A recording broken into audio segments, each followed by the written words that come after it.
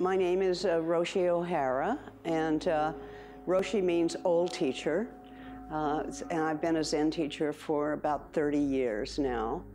Uh, my other name is Pat, which is a very American name, and Enkyo is my Dharma name, which means the teaching of the circle. And my teachers always reminded me that the circle is kind of imperfect, so I didn't get a big head. Um, so, what is a Zen teacher, you could ask? Uh, it is someone who creates uh, an opportunity for people to come and uh, meditate, to sit, we say, sit zazen, which means seated mind. And uh, here in New York City, uh, downtown, where things are, are really busy, and particularly the artists and musicians that practice with us are kind of like trying to keep their lives together and do so many things, it's vitally important that they come and sit. Just stop. stop for an hour and come to the uh, Zendo.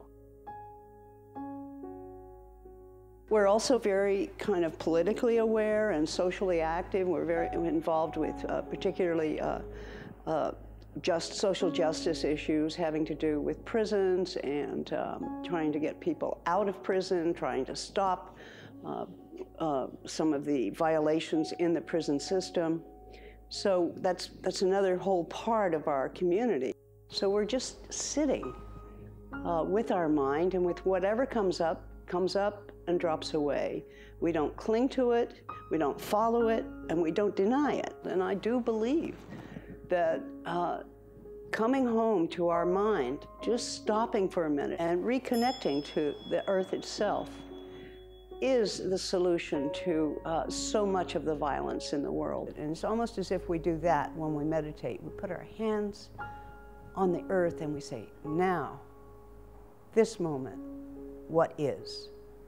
to me, that's how we can find our way out of this terrible time in the world.